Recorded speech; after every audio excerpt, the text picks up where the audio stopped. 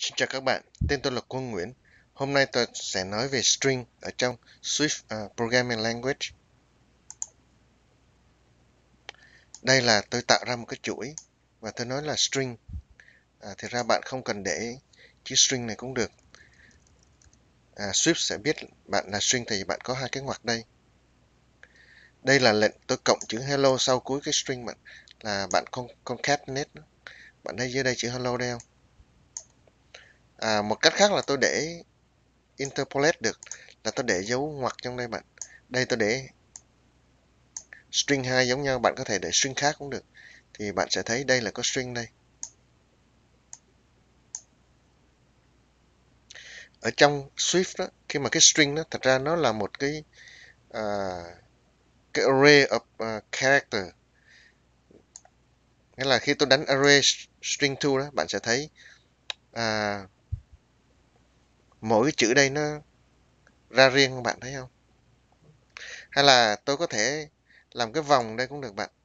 Loop for x in string 2 và khi tôi làm vậy đó, thì bạn thấy chín lần không? Nếu mà tôi coi nó thì bạn sẽ thấy nó nó, nó sẽ in ra đây bạn. Và đường thời tôi cũng có thể làm map đó bạn. Là tôi để dấu ngoặc đây để bạn thấy. Cái dấu phẩy đang bạn này. Dấu ngang đây chứ. Ở đây tôi tìm cái chuỗi hay là cái string nó dài bao nhiêu tôi, thì tôi xài lệnh count element string 2 và sẽ ra 9 nếu mà tôi đếm đây thì sẽ có 9 9 chữ bạn. Hoặc là tôi có thể xài lệnh distance và tôi nói string 2 start index. Start index là 0 bạn nhé. Và end index nó đây là 9 thì bạn cũng ra 9 cũng được. Ở đây đó à tôi nói đấy. À, đi tìm cho tôi in ra chữ đầu đây là số 1 à, số 1 bạn thấy không? Số 1 đây. Nếu mà bạn muốn à, unsource wrapping thì bạn à, để dấu này vô thì nó chỉ ra số 1 luôn bạn. À, tương tự thì tôi muốn lấy chữ, chữ cuối sao ạ? Tôi để last string là số 9 đây bạn. Thí dụ tôi muốn lấy số ở giữa sao? Ở đây thí dụ tôi lấy số tôi lấy 5 bạn nhé. Tôi đề string f giống ngoặc advanced string start index 5 thì nó sẽ ra chữ B. Này, đếm ơi. 0 1 2 3 4 5. Tại cái này là zero base nên bạn thấy chữ B đó. Đây là vị trí thứ 6. À, tôi có thể lấy từ n index trừ ra 2 n index đây trừ ra 2 thì ta sẽ lấy 9 là trừ 1 trừ 2 là c đây bạn bạn nên bạn thấy c ở đây. Còn đây đó thì tôi muốn lấy ra à, từ đầu cho tới index số 5 thì tôi đề đây stack index cái range cho bạn nhé 3 chấm đây advanced string stack index 0 3 chấm advanced stack index 5 thì nó sẽ in ra 1 2 3 E5B đây. 1, 2, 3, E5B Từ 5 đó Tại vì nó là zero index nên bạn có 6 chữ ở đây. Và đây đó tôi sẽ lấy từ index 5 cho tới cuối luôn. Thì tôi đề start index 5 chấm chấm. À, bạn có dấu ngoặc đây bạn nhé. Thí dụ mà tôi làm trên đây thì bạn sẽ thấy nó lấy đây nó lấy từ 4 này, tới E thôi bạn xíu chữ B thôi thì đây là index 5 cho tới cuối. Tới đề n index các bạn zero đây.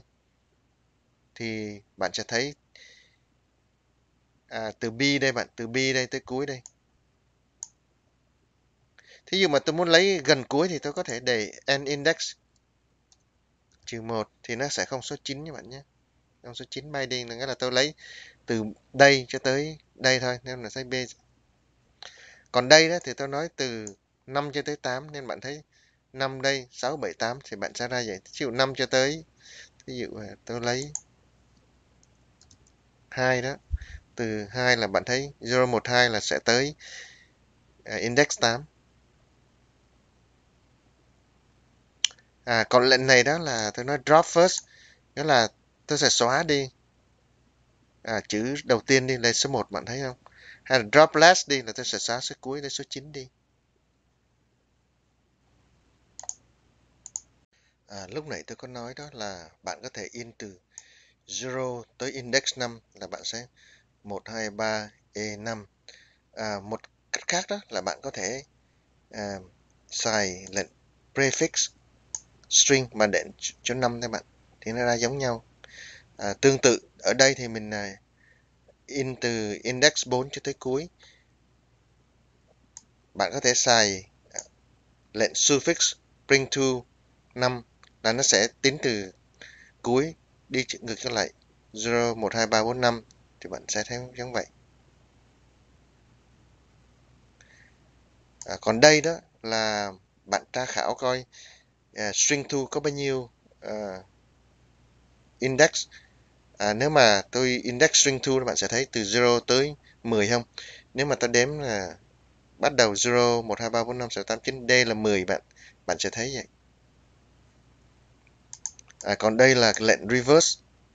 Là như lúc này tôi đã nói string đó là một cái cái array of character nên bạn có thể xài reverse đó, thì bạn sẽ thấy đi ngược lại bạn? D trước 9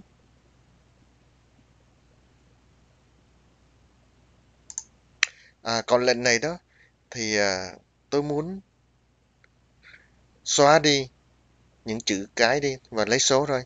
Thì tôi xài filter string to đây thì bạn coi not contain ok? Not contain abc thì bạn sẽ thấy ABC đi nhưng mà vẫn còn chữ D bạn thấy không? Nếu mà tôi để D đây đó thì nó sẽ biến mất.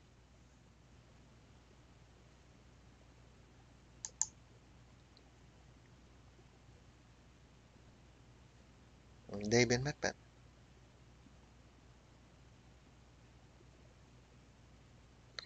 À còn lần này đó, thí dụ mà bạn muốn đi tìm cái chữ nào ở trong cái chuỗi đó, thì à, bạn rồi bạn tìm vị trí nó sao?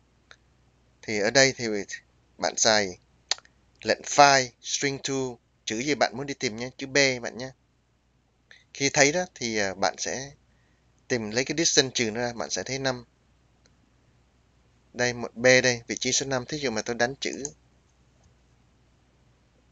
c đi, thì bạn sẽ thấy nó vị trí số 7 bạn thấy vị trí số 7 còn trong chuỗi đó, nó có một lệnh là khá là quan trọng, kêu là empty is empty. Ở đây, thí dụ mà tôi để cái string là bằng, không có gì bạn nhé. Nếu mà nó empty, nếu mà tôi hỏi nó, nếu mà cái string này nó trống đó thì tôi để tôi đặt nghĩa cho nó. Thì string 3 lúc đầu bằng à, trống đây. Vì nó trống thì tôi đặt nghĩa nó hello đây. Thí dụ mà ta để string bằng không được. Thì bạn sẽ thấy string này thì cái thì cái này nó không có đúng bạn. Thì cái string vẫn giữ như cũ nó không có lấy cái string này mới.